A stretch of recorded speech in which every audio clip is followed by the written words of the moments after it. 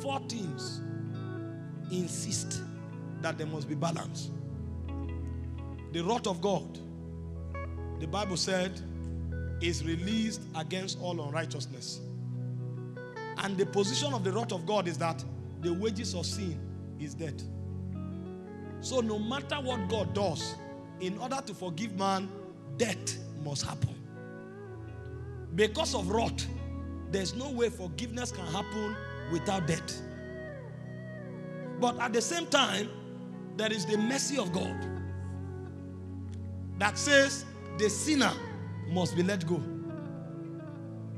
Because James 2:13 said, mercy prevails over judgment. Wrath say you will die. Mercy say you can't die. So God naturally would have been left in a dilemma. But why God was contemplating that and wanted to pull out, I said, okay, since there is a crisis, let the man die. The love of God now show up.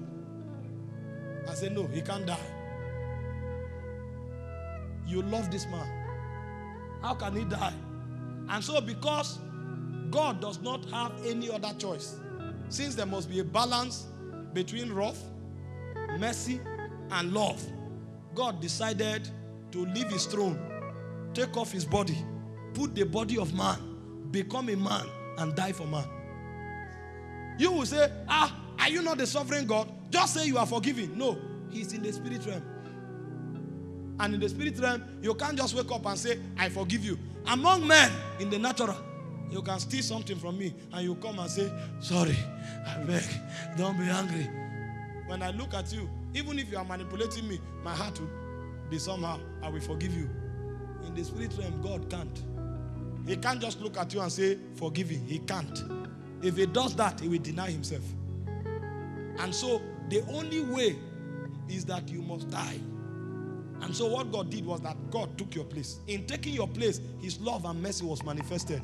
And in dying, His wrath was also manifested. That's how legalistic God is. And God didn't stop there. After He died for you, He now gave you grace so that you will live above that sin. Because if you go back, there will be consequences. It's a legalistic realm. If you know how the spirit realm works, you will guide your life carefully. Jesus said something. He said, Every idle word a man speaks, he said he will account for it. The reason you talk anyhow is because you don't know how legalistic. You think because you said it at the age of 19, when you are 50 years old, time has passed.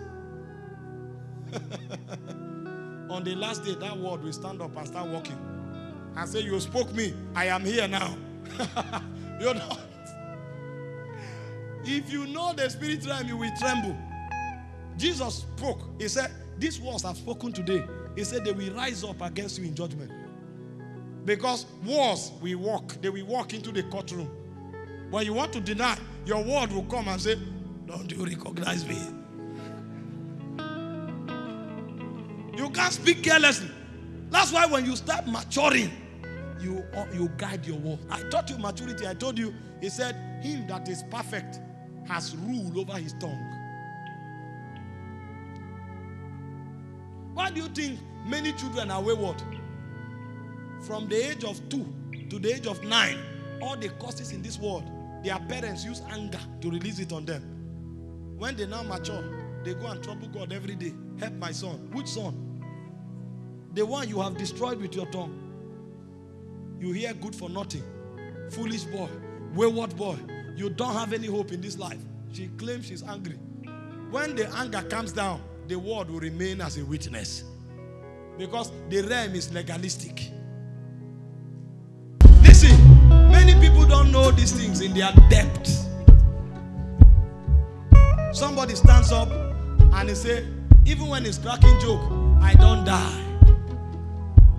And then the I don't die is filling up. When the quorum is complete, nothing on earth can deliver him.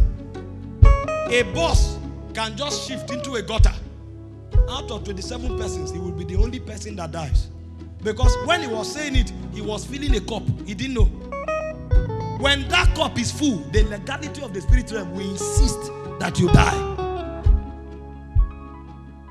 He thinks he's joking, but in that realm, they are documenting your utterance. It's legalistic. Somebody stands up. You say, What is happening? He say, Nothing is working. Well done. You may need 10 years of intercession to change the things you have said. Nothing is working. The Bible said, when men are cast down, say. He didn't say when men say there's a casting down. Men are really cast down. He said, but be careful. You are dealing in a legalistic world. Don't be part of them. Even when you are down, say there's a lifting up. He said, let no one in Zion, let no one say I am sick. The doctor can say what he wants. There's a challenge I'm dealing with. I will never, never say it.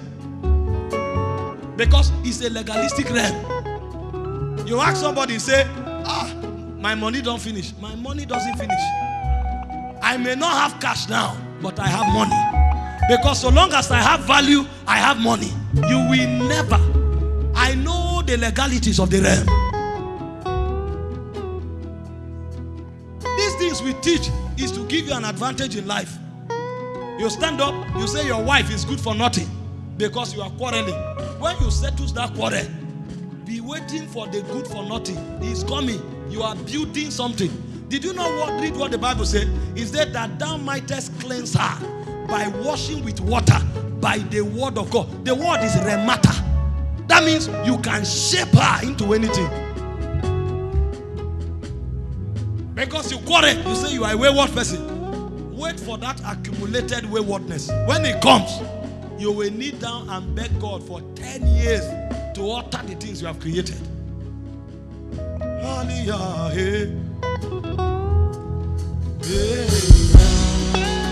Some of you need to go to your business and prophesy over it for one month. Because you have killed that business with your words. You, you killed it. You may need to go and prophesy over that business for one month before your utterances are able to change the things you have created. Some of you need to prophesy over your children for six months for them to ever count again. You have killed them even before they manifested.